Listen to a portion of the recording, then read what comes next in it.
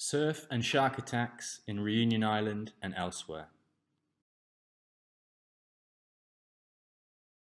Excuse me if my English is not perfect and uh, my pronunciation too.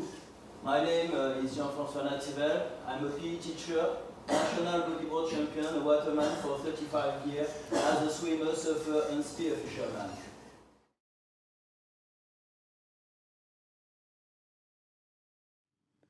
In 2011, following a shark attack in the heart of our main sea resort, I joined a fishing expedition to find the bull shark responsible. This caused a lot of controversy, which led me to my struggle for shark mitigation. Then followed eight years of fighting, in which I personally became involved. I founded the first Reunion's Shark Attack Prevention Society, Ocean Prevention Reunion. My objective was to maintain access to the sea in Reunion. I'm not a marine biologist or academic, but through my relentless study, many people considered me as a specialist. This is the tragic story of my book. For six years, it has been illegal to go into the ocean in Reunion Island. What happened in Reunion Island? Reunion is a small isolated island, lost in the Indian Ocean. It has been a French territory since 1946, where aquatic activities have been developed over the last 40 years. Our island is a surfing paradise with more than 60 surf spots close to shore and waves all year round. The population enjoys excellent health services. There is no malaria, dangerous insects, or reptiles. It has a mild climate with perfect water temperature. It's France and Europe in the tropics. Surfing arrived on the island in the 1970s, producing some of the best French champions like Jeremy Flores and Johanne Defay. Reunion Island was at the time known as the Little French Hawaii. However, today it is hard for young surfers to continue the tradition because the ocean has been officially off limits since July 2013. The shark crisis has turned our beaches into a cemetery. French government bureaucrats dictate their colonial policies with decisions made far away in Paris. The risk of shark attacks had always been taken seriously in Reunion, but it was located in wild areas of the island where you can find black sand beaches with lava pebbles, where strong winds are regular and where the water becomes turbid after heavy rains. Surfers have avoided these areas since the first shark attacks in the late 80s and have never asked for a mitigation policy.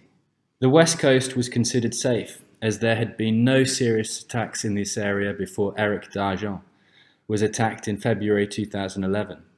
This unexpected localization was the first sign of a major change, which motivated our initial fishing expedition and subsequent demands for policies to protect the public. There are lots of debates about what caused this major change, mainly because solutions depend on causes and facts. My book and my other presentations detail this complex and controversial topic. To resume, the biologists explain that the increasing rate of shark attacks in Reunion is due to environmental degradation. The biologists say that due to intense urbanization and agriculture, bull sharks migrated from the east coast of the island to the west, or from elsewhere in the world. Yet there is no link between shark attacks and urbanization. If there was, there would be thousands of attacks everywhere else in the world. So far, Reunion has 40% of the world's fatal attacks in 2017. But Reunion remains to be one of the least polluted French territories. Turbidity due to heavy rains should not be confused with pollution. The Surfrider Foundation's local office tried an ambitious water quality analysis project, which was unsuccessful because it did not have public subsidies.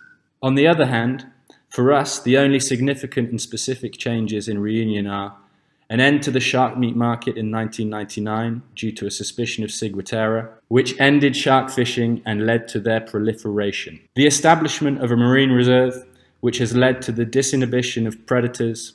Sharks are neither bad nor nice. They have just appropriated the seaside space, liberated from the human threat that once constituted traditional fishing. But it is no longer possible to dispute conservation policies without being labelled a heretic. According to the progressive narrative, human activity is to blame, whether it be overfishing, pollution, global warming, human population growth, or just irresponsible behavior.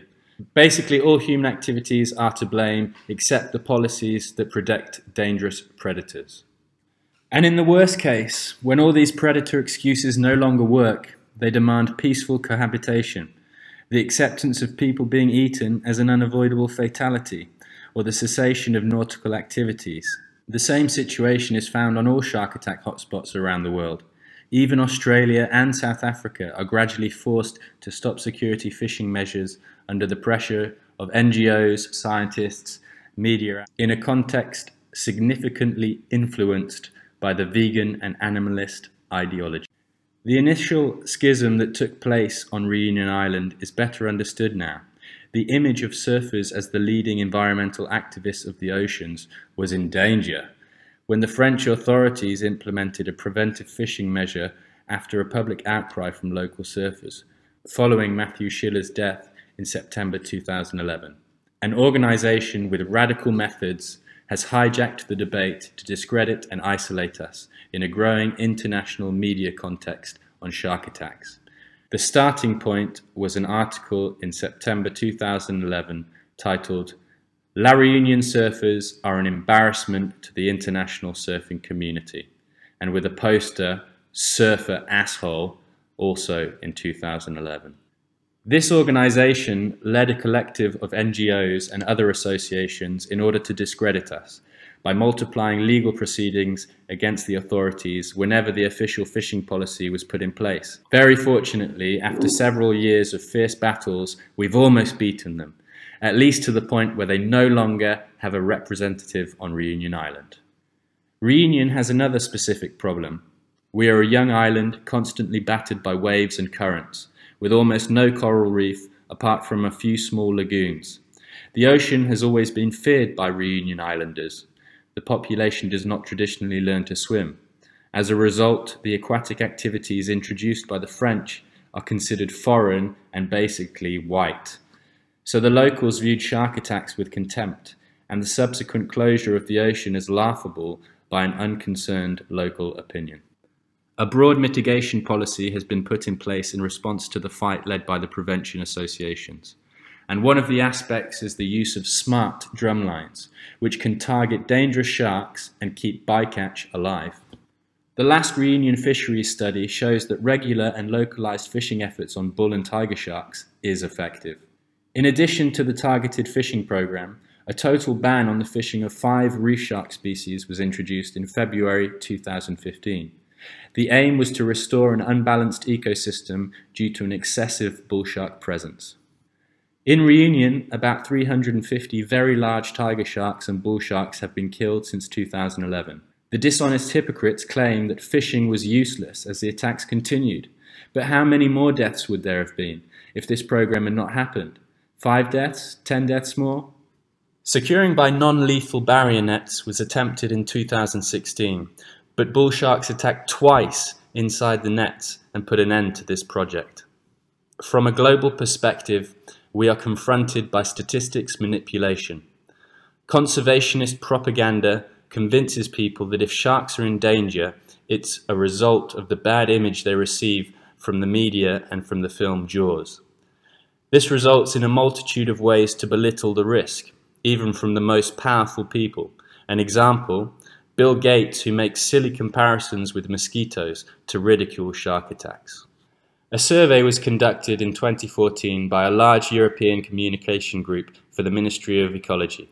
Comparisons with other unlikely causes of death were described as statistical manipulation. They also point out that the anti-massacre reactions are excessive, disconnected from local circumstances and species. The idea of culling sharks merely to preserve a leisure activity combined with the irresponsibility of surfers allows NGOs to maintain hysteria around the debate. Even the Florida Museum, responsible for the International Shark Attack file, ridicules the low risk of shark attacks, comparing them to other improbable risks. These tactics are commonly used by scientists and the media to make sharks seem cute while reinforcing the stigma against anyone who dares to call for preventative measures. The victim becomes the only culprit. The efforts of this scientific institution are not concerned with stopping the attacks, but in ridiculing the probability of their occurrence and making them seem acceptable. Another scientific approach proposed by Christopher Neff is to identify attacks as mere encounters. The stakes would be considerable, according to the most powerful NGO PEW, Save the Sharks, Save the World. To save the planet, let us sacrifice a human, or better still, a subhuman, a parasite, a surfer. What if accepting the death of a few hundred sharks for mitigation could reduce the number of attacks, improve the image of sharks, and in return lead to protect millions more? Yet sharks are not fished around the world because of their bad image, but rather for their meat. 76 million sharks are fished each year for food, and less than 2,000 for mitigation. About the USA. The attacks are frequent, but often not fatal. The risk in Hawaii is acceptable and accepted given the large number of people in the water and the very low number of fatalities. Only six deaths since 1980. Hawaii does not employ a shark mitigation policy. There are only tiger sharks and no bull sharks in Hawaii. Florida is the epicenter of shark attacks around the world, with an average of 25 attacks per year, with very few fatal attacks. Most attacks are not serious, and they are content to just momentarily close the beaches with signpost-based prevention measures. There's a lot of swimmers, sharks, but also recreational fishermen. It is a paradox to note that the no-cull movement comes from the USA, a country that kills a lot of sharks. The United States is one of the largest shark fishing countries, more so than China, who don't actually fish shark. The USA supported commercial fishing in the 1980s, to the point of publishing a dedicated manual in 1985. There is shark fin soup all over the United States serving a large Asian community. Despite regular fishing, research shows shark populations improving off US East Coast. According to this paper, hundreds of thousands of sharks can be fished on the East Coast, the 2018 quota is about 4,000 metric tons. American fisheries supply a strong demand for fins, selling the meat for 50 cents a pound. But the market is now threatened by the lobbying of shark lawyers. Scientists who have taken years to establish sustainable fisheries are worried about the end of this trade. If the United States can no longer supply the shark fin market legally, then uncontrolled poaching will take its place. Shark attacks are an extremely rare phenomenon in the United States considering the estimated 3 million surfers and tens of millions of swimmers, so there is no need for a mitigation program. The statistics show that San Diego is the most affected area in California. Attacks are almost exclusively caused by great white sharks, which paradoxically pose a much lower threat than bull sharks in terms of numbers. In my opinion, this is because they mainly feed on marine mammals, which are rich in fats. Great whites typically turn away when they realize they have mistaken a human for a seal. But an investigative bite can obviously be catastrophic for a person. The last deadly attack in September 2018 revived the debate at Cape Cod, as scientists admit an increase in the population of great white sharks. But with very low risk of fatal attacks, there is little chance that this will result in a mitigation program. Fatal shark attacks remain an extremely rare phenomenon on the planet, but continue to receive growing media attention. Because this phenomenon fascinates public opinion in our modern societies where sharks and surfers have become new icons. In relation to the number of population and people in the water, Reunion Island exceeds all shark attack records, despite the ocean being closed since 2013. Surf image and shark attacks. A traditional practice in Polynesia, then bourgeois with Jack London, surfing has become a symbol of leisure, first with the Beach Boys, then a counterculture symbol with Apocalypse Now. It is the starting point of a persistent image that changes from that of marginal rogue living on the outskirts of society to being recovered by the hippie movement of the 70s, cool and eco-friendly, living on peace, love, and waves at the expense of society in a perpetual search for pleasure, to ending up as a kook or daydreaming idiot, such as the character Brice from a recent French movie, Brice de Nice. These successive representations of the surfer are similar from place to place, regarded as marginal, irresponsible, in search of trouble and rule breakers. What if the shark played an ecological role in ridding the beaches of these parasites? This is the idea launched by Charb, head of Charlie Hebdo in 2012, after two attacks close to Reunion, where he glorifies sharks, saying, Chew the smug wankers to pieces before shitting them back out. The percentage of recreational surfers attacked gradually increased in the last century to exceed 50% in 2018. That's why the conflict between surfers and sharks is manipulated more and more by the media. Le Monde newspaper released a propaganda video in March 2019, Sharks Cold for Surfers Protection. The anti-surfer misinformation around the idea of irresponsible surfers was broadcast by the mainstream media with the support of show business and the elite. In fact, surfers are highly functional members of society.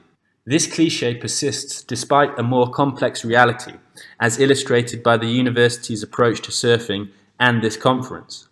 Just like the data that shows the correspondence of the higher socio-professional categories in the surfing community. Surfing has become a significant tool of economic development all over the world, because in addition to being part of the ocean leisure lifestyle, it's probably the most sustainable ocean practice because it uses natural energy. To the fashion and advertising industries, the symbolic image of surfing represents a sophisticated activity that portrays demigods taming nature, living wild and free. The surfer is very close to nature and ecological values. At the same time, this practice also symbolizes free time, leisure, and uselessness. Enjoying nature for recreation is no longer acceptable in the 21st century, especially in the face of sharks, the ocean's new totem. In recent years, the surfing community has been in turmoil. An attack on Mick Fanning in 2015, Kelly Slater's commenting in favour of shark fishing in Reunion in 2017, and the cancellation of WSL competition in Margaret River in 2018. With contradictory positions, whether politically correct or on the side of peaceful cohabitation, Rastovich, Tom Carroll, no one to defend humans, even Kelly Slater was forced to backpedal. With the myth of a peaceful solution through innovation, with the promise of individual or even collective electromagnetic devices, who's ready to trust their lives or the lives of their children on an electronic gadget? While waiting for a technological miracle, repeated experiments reinforce the fatalistic side of the natural problem that apparently has no solution. What future? Is it possible to imagine that the number of attacks would drop while the efforts to protect sharks increases?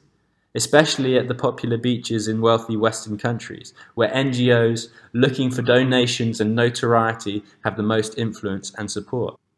The ocean has been banned for six years, and there are still hundreds of ocean users who continue despite the ban. So far to date, April 28th, 24 shark attacks were recorded in 2019 worldwide, and only one was fatal. It was on Reunion Island. As the proverb says, out of sight, out of mind. But even though here in California you are far away, we have links, as shown in this recent photo of Macy, the daughter of the great Californian champion Rob Machado. She also surfs in Reunion in unprotected areas, defying the risk and the ban. Eight years of struggling and fighting for those who died in Reunion and elsewhere, and for those still in the ocean. Thank you for listening.